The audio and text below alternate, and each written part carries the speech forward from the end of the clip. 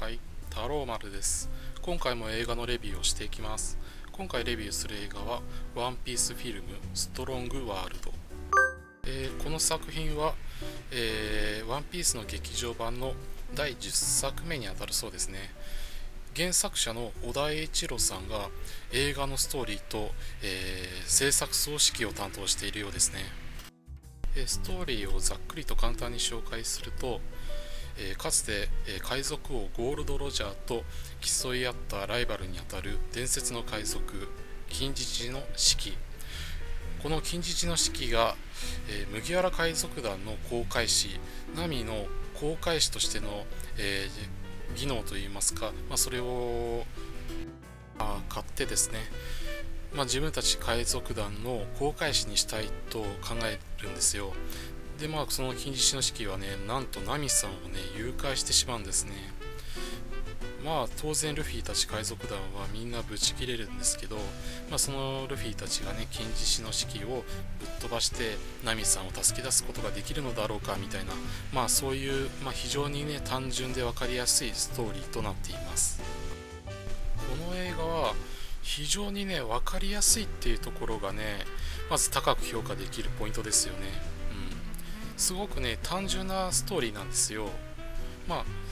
まあこれ要するにまあ悪役である金獅子の式がですねまあ非常にね分かりやすい悪役っていうところがあるんですね、うん、まあめちゃくちゃ強い海賊ででまあ、自分の目的のために、まあ、人たち人や動物たちを、まあ、これあのなんて言うんでしょう、まあ、こう虐げている、まあ、支配したりしていてでさらに、まあ、ルフィたちの仲間を誘拐までしちゃっている。でそれをルフィたちがこらあの金獅子の式を懲らしめて仲間を助けて虐げられていた人たちを助けてまあ、めでたしめでたしみたいなすごく分かりやすいんですよね。これはねやっぱ大人から子供まで楽しめる、まあ、ファミリー向けの映画としてはねすごくいいんじゃないかなって思いました。最近の作品まあアニメに限らずですけどやたらと小難しいテーマというか、まあ、社会的な問題とかをねこう作品の中に盛り込もうとする傾向があるような気がするんですけど本作にはそういったものはないですね、まあ、下手にねそういった重い重苦しいテーマをね入れようとしてまあ話がね、まあ、やたらと小難しくなったりつまらなくなってしまったりしてもしょうがないですからね、まあ、メインはね子供ですから。子供が見なくてどうするんだって楽しめなくてどうするんだっていうのもありますからね、うん、でちゃんとワンピースらしいねアクションなんかもたくさんありました。特にやっぱ終盤のアクションはね結構ド派手で、まあ、見応えがありましたね。特に僕はねゾロが結構好きなんですよ。ゾロのアクションがねやっぱかっこいいですね。技を決めたりだとかっていうのがあって、まあ、かっこいいなと思ってて。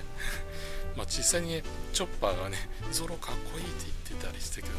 確かにそうだよねみたいな。チョッパーとねシンクロしたりしてしまいました。そうですね声優もまあ、ルフィたちね、ルフィたち海賊団の声優はアニメのまま、そのまま続投なので、まあ、安定の演技をしているんですね。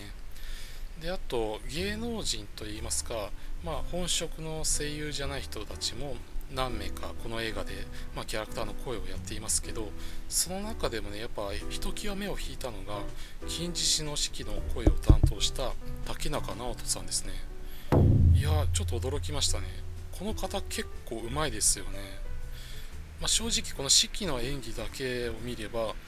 っきり言って本職の、ね、声優さんたちの演技とそこまで見劣りしないというか違和感を感じないんですよね、まあ、あと竹中直人さんっていうと MCU あのアベンジャーズなんかではニック・フューリーの声を担当していたんですけどあちらも悪くはないけどちょっとねやっぱ本職の人とはねちょっと劣ってしまって聞こえるなっていうのはあったんですね。ただやっぱり今回はアニメだからなんでしょうかね。まあ式は結構大声で笑ったり大声で怒鳴ったりとかしてて、うん、それが良かったのかもしれないですね、うん、竹中直人さんの演技が、まあ、見事に式の、ね、キャラクターに合っていたっていうことなんでしょうかね、うん、すごく良かったと思います。最近の「ワンピースの映画ってこう麦わらの海賊団以外にも海軍のキャラクターとか、まあ、まあ、ルフィたちのまあライバルにあたる海賊団のメンバーとかそういう過去のね人気キャラクターたちを大量に登場させるというそういう傾向にあると思うんですけど本作は、まあ、そういったものはなくて、まあ、あくまでルフィたち海賊団がメインとなっているんですね。まあ今公開中の映画の「ワンピースフィルムレッドも、まあ、麦わら一味以外の、まあ、海賊とか海軍たちがたくさん登場するんですね、まあ、確かにそれもねすごく楽しいとは思うんですけどその分キャラクターたちがたくさん登場することによって、ま、キャラクター一人一人の、ま見せ場だったりだとか活躍がちょっと薄まってしまっているんですね。で対して今回の、えー、ストロングワールドはあくまでルフィたち海賊団がメインなんでキャラクター一人一人がこう見せ場が多かったり活躍が多かったりだとか、まあ、そういったものがあるんですね、まあ、どっちがいいかって聞かれても多分ねいろいろな意見があると思うんですね。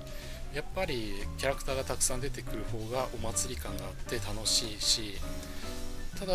今回のストロングワールドのようにキャラクター一人一人に明確な活躍があった方が見やすいし、まあ、そっちの方がねドラマ性も生まれたりしてて、まあ、いいっていう意見もあるし、まあ、どっちがいいかって聞かれてもね僕もねちょっと迷うんですよ、うん。まあ、皆さんはねどのふうに考えるでしょうか、ちなみにね、ワンピースフィルムレッド、えー、今映画館で公開中だと思うんですけど、僕も鑑賞してレビュー動画を上げているので、もしよかったらね、そちらの方も見ていただけると嬉しいです。はい。というわけで、今回の映画にも点数をつけたいと思います。今回の映画は5点満点中、そうですね、3.6点ですね。うん。いや、この映画がねどうやら「ワンピースのファンたちの間でもかなり高く評価されているっていうようなんですけど、まあ、僕も今回ね見てみてなるほどなと。確かにこの映画はやっぱ見やすいしまあ単純に楽しめる、まあ、誰が見てもね一定の面白さはね約束されているようなそんな映画だなって思いました。うん。はい。ということで今回のレビューはここまでにしたいと思います。このチャンネルでは映画のレビューたまに漫画アニメのレビューをしていますので、えー、もし興味がありましたら、えー、チャンネル登録の方よろしくお願いいたします、えー、チャンネル登録していただけるとね僕自身もねやる気が出てきますので、えもしよろしければチャンネル登録していただけると、え大変嬉しいです。はい。というわけで今回はここまでにしたいと思います。バイバイ。